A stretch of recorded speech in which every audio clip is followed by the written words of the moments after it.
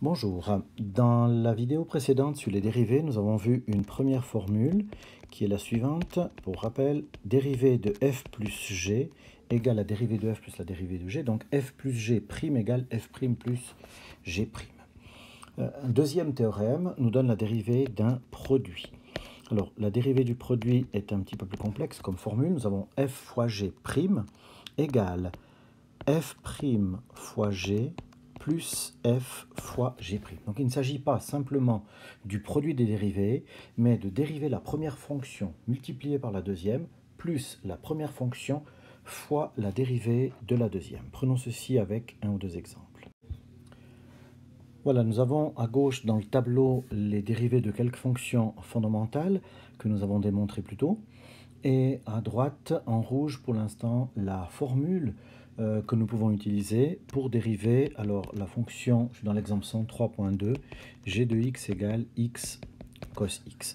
Donc par rapport à cet exemple, nous pouvons constater, et c'est toujours ce qu'il faut faire quand on veut dériver, la première chose à faire est d'identifier la forme. Est-ce qu'on a affaire à une somme? Est-ce qu'on a affaire à un produit? Plus tard on parlera de quotient.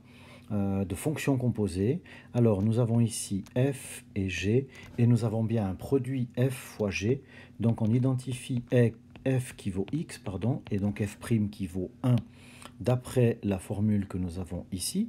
De même, nous identifions g qui vaut cos de x dont la dérivée g' d'après cette formule-ci est moins sin x.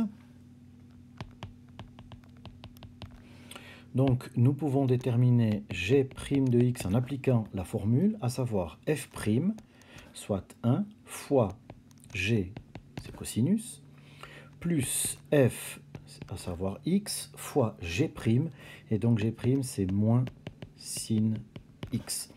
Alors on pourrait ici bien sûr simplifier pour euh, passer le moins devant, ici le x, donc cos x moins x sinus de x, comme dérivée de cette fonction g. Considérons un autre exemple avec la fonction, je peux l'appeler h de x est égal à racine de x fois sinus x. Donc pareil, on identifie tout d'abord un produit avec ici f, ici g. Je vais le faire sans écrire les f et g que j'ai inscrits en vert à côté pour l'exemple précédent. Euh, on peut essayer de le faire tout de suite en se disant que h' de x égale, donc f' c'est la dérivée de racine de x, soit 1 sur 2 fois racine de x, fois g sinus x, plus f racine de x, fois g', dérivée de sin, c'est-à-dire cos de x. Alors on peut aller un tout petit peu plus loin dans le calcul et tout mettre sur le même dénominateur, donc 2 racine de x, qui multiplie ici par 2 racines de x au dénominateur, et bien sûr il faut amplifier le numérateur en conséquence.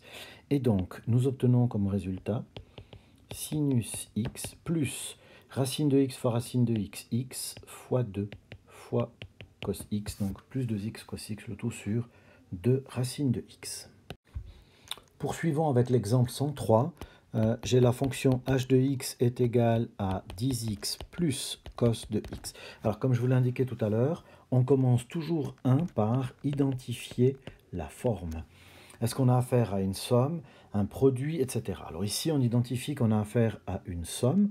Donc la forme, c'est une forme f plus g, dont la dérivée vaut, on se rappelle le théorème, f plus g' égale f' plus g'. Donc h' de x égale. Alors dérivée de 10x, 10, puisque je rappelle ici que la dérivée de ax plus b vaut a. Donc la dérivée de 10x ou 10x plus 0 vaut 10. Plus, et on a la dérivée de cos de x. Dérivée de cos, on l'a vu et vous pouvez reprendre le formulaire étable à la page 79. La dérivée de cos, c'est moins sinus, d'où la dérivée 10 moins sinus x. Je poursuis avec i de x qui vaut 10x cos x. Alors là, on identifie pareillement la forme. Donc cette fois-ci, on a affaire à une forme qui est un produit, f fois g, avec f qui vaut 10x et g qui vaut cos x. Donc on applique le théorème. Dérivé du produit, dérivé de f fois g, c'est f' g plus f fois g', ce qui nous donne la dérivée maintenant de la fonction i, à savoir i' égale f', c'est la dérivée de 10x, 10, fois g, cos de x, plus f 10x fois la dérivée de g, dérivée de cos, moins sin de x. D'où le résultat. Alors, soit on l'écrit sous la forme 10 cos x moins 10x sin x, correct, hein, bien sûr. On pourrait même mettre 10 en évidence. 10 fois cos x moins x sinus x. Les deux formes sont tout à fait justes. Voilà pour cet exemple. Poursuivons avec la fonction j, euh, qui vaut ou qui a x associe x carré fois sinus x. Euh, donc première chose, comme auparavant, on identifie la forme de la fonction. On a affaire ici à un produit f fois g, avec f qui est la fonction x carré, g qui est la fonction sinus. Alors, je vais reprendre ici la fonction f qui vaut x carré, et donc f', c'est 2x. De même, g, c'est la fonction sinus x, et à ce moment-là, g', c'est la dérivée de sin cos. Euh, rappel, formule rétable, page 79, pour la dérivée des fonctions de base. Donc, on passe à la deuxième étape avec la dérivée du produit qui vaut f' fois g plus f fois g'. D'où la fonction j' qui est égale à f', c'est 2x, fois g sinus x, plus f x carré fois la dérivée de sin cos de x. Alors là aussi, euh, le résultat convient très bien comme ça, sinon on peut mettre x en évidence, fois 2 sin x plus x cos x. Voilà, je reprends encore une fois ce résultat. f fois g' est égal à f' fois g plus f fois g'. Si nous considérons ici le produit, donc on va prendre un lambda qui est un nombre réel, le produit d'une fonction par un nombre réel, lambda fois f', alors, nous pouvons appliquer le résultat qui est en dessus. Ça fait la dérivée de lambda fois f plus lambda fois la dérivée de f.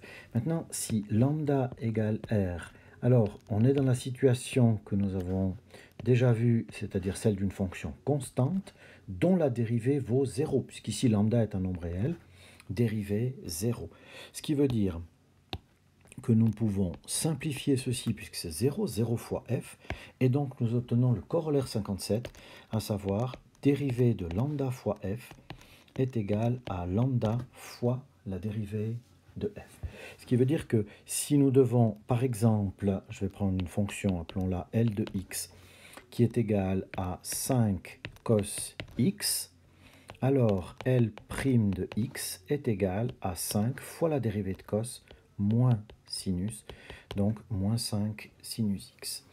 Si la fonction m de x est égale à 3 racine de x, alors m' de x est égal à 3 fois la dérivée de racine de x, c'est-à-dire 3 fois 1 sur 2 racines de x. Si enfin la fonction n est égale à 5x